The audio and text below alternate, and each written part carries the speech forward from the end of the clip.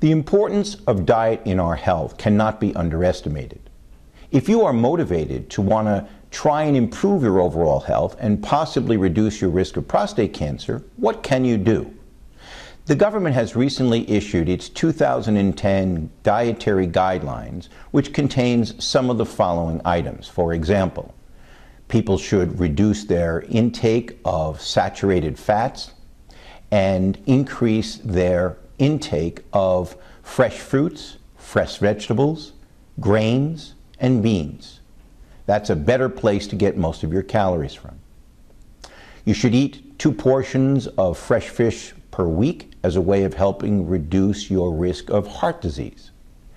Intake of cholesterol should be limited to about 300 milligrams per day, and salt also should be limited to about 1500 milligrams per day. The government also advises that you adjust your calorie intake for your ideal body weight and also be aware that exercise is an important thing to incorporate as a way to help your overall general health. Now, what about specific things that might be good or bad about getting prostate cancer? Epidemiological studies have suggested that red meat and fried foods are going to increase your risk, and certain foods like broccoli, green tea, soy, lycopene containing foods such as cooked tomatoes may reduce your risk. The evidence is not firm, meaning that the studies that they're based on are not ideal studies. Nevertheless, if you are motivated to try to incorporate things into your diet that might help, then it's worth adjusting your diet, increasing the intake of the things that are good for you here, and limiting your fat and your red meat and fried food intake. Those are general things to consider.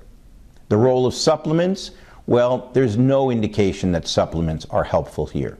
If you want to get your ingredients, the best way to do it is from the real foods rather than extracts from those foods. So incorporating these guidelines can be helpful to your overall health. And remember, most of the people who are, diagnosed with prostate cancer don't actually die from it. They die from heart disease. So it makes little sense to worry about prostate cancer without also worrying about your overall health, and these guidelines and suggestions can be of value to you.